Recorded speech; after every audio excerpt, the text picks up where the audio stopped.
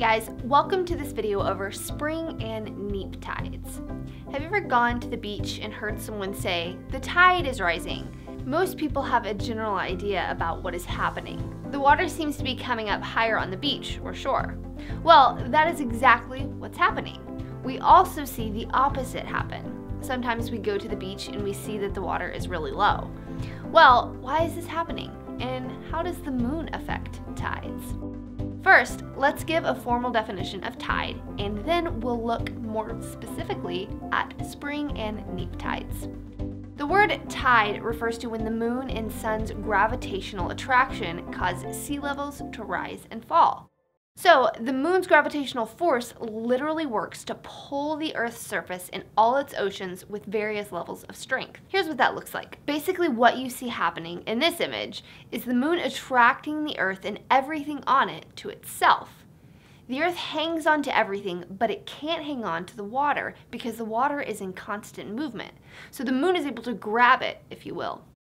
You can see the bulges on both sides of the Earth. Well, the reason the bulge closest to the moon is bigger than the one further away from the moon is because the pull on the ocean closest to the moon is stronger because there is less distance between it and the moon. Distance weakens the gravitational force. Every single day, as the Earth rotates on its axis in a 24 hour period, a high tide takes place twice and a low tide takes place twice. The high tides take place approximately 12 hours and 25 minutes from one another. The moon rotates around the Earth, and it takes the moon approximately 27.32 days for the moon to make a full rotation. Well, the Earth makes a full rotation on its axis in about 24 hours, or 23 hours and 56 minutes to be exact. So, as you can tell, the Earth is rotating on its axis much faster than the Moon is rotating around the Earth. This information is very important and helps us to understand tides better, more specifically when we get into the topic of super tides or spring and neap tides. From the Earth, it looks like the Moon is not moving at all. But that's not the case. It's just moving much slower than the Earth. It is in fact moving though, and like we've already mentioned, it takes about a month for the moon to make a complete orbit around the Earth. Well, the moon orbiting makes some stuff happen on Earth. So let's take a look at what is going on. But to do that, we have to bring in our big friend, the sun. So, the moon starts out directly in front of the sun. From Earth, it looks like the moon is invisible because the light is shining on the opposite side of the moon, the part that we can't see. When the Earth, Moon, and Sun are directly aligned like this, something happens. Spring tides. I already mentioned that distance lessens gravitational pull. Well, the sun is so far away from the Earth that the Earth only experiences half the gravitational pull from the sun as it does from the moon.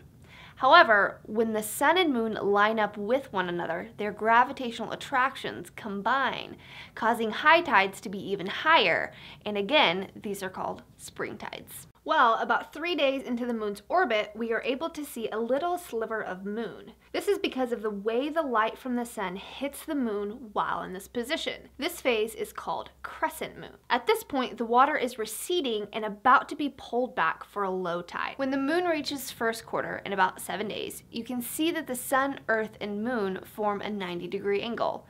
When this right angle is formed, the bulges from the ocean cancel each other out. So the regular high tides and low tides become significantly lower. This is known as a neap tide. They are very weak tides.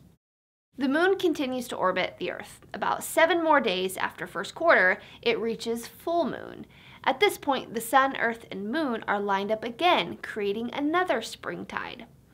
The moon continues on until it reaches last quarter. This occurs about seven more days after full moon. At this point, we can see again that the Earth, Moon, and Sun form a right angle, causing the bulges in the oceans to cancel each other out. So we see another neap tide. The moon then rotates back to the new moon position, starting the cycle all over again. This is pretty cool stuff. Now you can walk outside at night and based on the shape of the moon, you can tell what's going on in the ocean. Remember, spring tides occur when the sun, moon, and earth are lined up, and this causes regular high tides and low tides to be much higher. Neap tides occur when the sun, moon, and earth form a right angle, and this causes the regular high tides and low tides to become much lower than usual. A neap tide will always come about seven days after a spring tide. I hope that this video has been helpful. If you enjoyed it, then be sure to give us a thumbs up and subscribe to our channel for further videos. See you guys next time.